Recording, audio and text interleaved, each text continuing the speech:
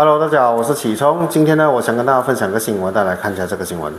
这新闻呢，不懂是哪一个地方了哈，就是呢，呃，在那个地方呢的马路上呢，出现了一些洞，可能等了很久，等不到当地的政府来补这个路洞啊，结果呢，就有一个华人男子呢，非常热心的啊，自己掏腰包买了一些材料，然后自己啊出力啊去补掉这些洞啊，然后呢，这个照片呢就给人拍下来放上网，然后网上呢甚至有人说啊，这个人才应该做外币。啊，OK，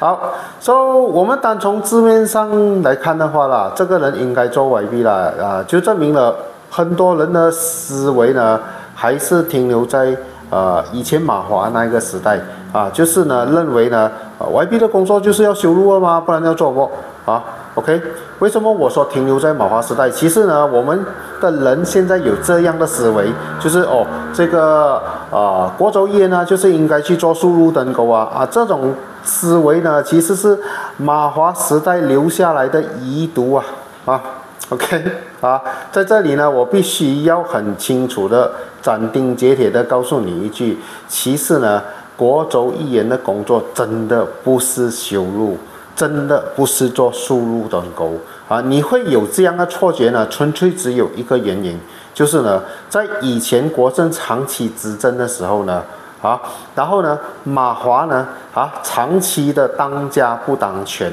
啊，国家大事不关马华的事，马华没有这个资格参与啊。然后呢，马华呢，啊，那时候也是坐拥啊，哈，百多个国州议员的嘞，啊。又当家不当权，然后呢，又有这么多个国州议员啊，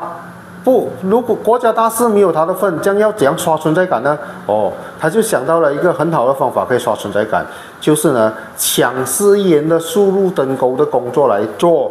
啊啊，然后呢，啊啊，国州议员就出来说，哦，我做了一条马路，我我砍了一棵树，啊，我做了一条龙沟，啊，我加了一一支路灯，啊，所以呢。啊，我们六十年来呢，都是看着这样的马华的国州议员的表演，就是看着这些表演长大了啊，所以呢，我们的思维呢，早已早已经潜移默化啊，就是呢啊，先入为主的这个已经认定了哦，修路就是国州议员的工作吗？不然是谁的工作啊？给我讲到这里没有错吧？我讲中了很多人的心思吧？啊，你们到了这一刻，你们还是认为啊，修路就是国州烟的工作？不然的话，今天这个新闻的主角啊，他的网名也不会说啊，这个人才配做 YB，修路的人就可以做 YB 的话，这样我相信很多人可以做 YB 哦。OK，好，So，呃，我在这里呢，我已经跟你说了，就是当初啊。马华的逃避政治，马华的当家不当权，所以呢才会找这些速路登钩的工作来刷存在感，所以呢弄到我们大家都误以为这就是国州议员的工作，其实不是，啊啊，国州议员的工作主要就是要去到国会，去到州议会那边啊辩论啊国家的课题。州的课题，然后呢，如果要讨论什么法案，OK，国州议员呢就负责提出自己的意见，然后呢投票赞成还是反对，啊。OK，这就是国州议员最主要的工作。当然，国州议员还有另外一个工作，就是照顾选区。所谓的照顾选区呢，没有一个固定的范围啊，就是呢，只要你那个选区呢的人民呢有问题啊，要找人解决的话，他们通常会去到国州议员的服务中心，然后国州议员的服务中心呢就会想办法帮忙解决各种各样的问题了哈。OK，这个就是我们所谓的民生服务啊。可是我讲到这里，我还没有讲到输入登沟哎啊，输入登沟是市议员的工作。我跟你讲，往往啊，你输入登沟的问题，你去找国州议员。啊，其次呢，整个流程也是这样，国会议员把这工作打给州议员，州议员把这个工作打给市议员，啊，然后呢，市议员呢跑才跑去市议会做输入登沟的工作，啊，然后到了最后，你以为是国州议员做，当然国州议员也有分参与了，但是呢，他们的权限呢是没有办法直接去做到输入登口的，他们也是要寻求市议员的帮助，市议员才可以名正言顺的去找市议会来做输入登口的工作，啊，我不说这个国州议员。没有参与，但是呢，啊，真正的啊有这个权限的，其实是议员跟市议会，这样你何不直接找市议员跟市议会呢？啊，OK，所以你们现在明白问题在哪里了吧？哈哈。OK，所以讲到了这里，如果你们还是以为国州议员的工作就是修路的吗？这样我可以很直接的告诉你，你们的这个思维是被马华时代给荼毒了啊！马华的国州议员啊，用输入灯钩来刷存在感的时代已经过去了啊！虽然现在的国州议员啊，哈啊，继续做输入灯钩是 OK 的，但是那只是锦上添花，只是。多余的工作，并不是他真正的工作啊啊！当然啊，国州议员呀有这个意愿要做多一点，我当然是欢迎了。但是呢，千万不好像以前的马华这样只做速度登高，国家大事不关你事啊。OK，所以你明白我意思吧？啊，好，说讲到路了哈，我告诉你，我在这里跟大家科普一下，马来西亚的马路呢，其实分三种等级。啊，第一种是国家的等级，我们叫做联邦路，是由联邦政府做的，啊，然后呢，第二种路呢是州级路，就是州政府做的，啊，最后一种路就是啊地方政府路，是地方政府做的，啊，怎样分别？啊，通常联邦路呢，啊，在它的法定的意义上呢，是呢州跟州之间啊互通的公路。就叫做联邦路，是最大的马路。你可以看到马路里面最大的马路啊。然后你在路牌上呢，你要看它的这个路呢，旁边往往有个黄色的牌，然后呢，里面写什么？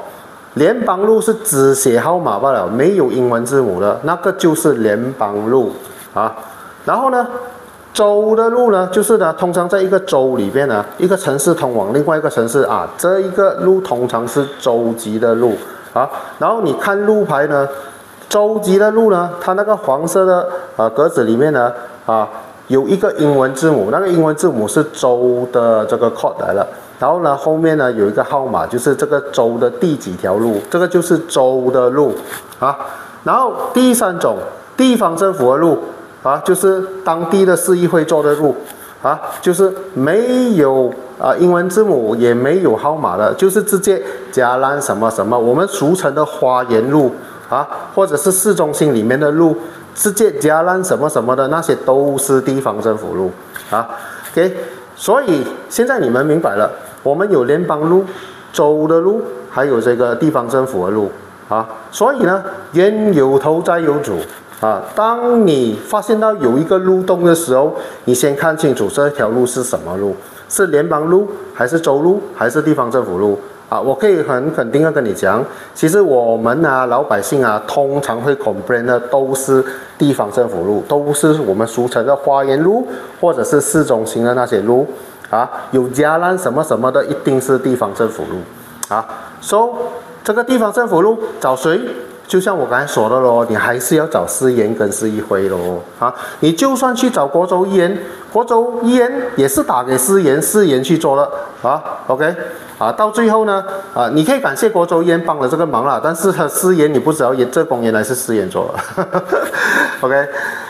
然后呢，你去看这条路，如果是联邦的路跟州的路啊，这样你就要知道找谁啊？联邦的路你要找联邦的 JKL 工程局。啊，州的路你要找州的 JKL 工程局啊。当然，你可以说我一个平民老百姓，我想去找工程局啊。这个时候你可以去找你的国州议员，可以没有问题啊。OK，但是我要强调，平时我们日常生活所遇到的路啊、路洞啊，多数是花园路啊，很少是州的路跟这个联邦路啊。OK，当你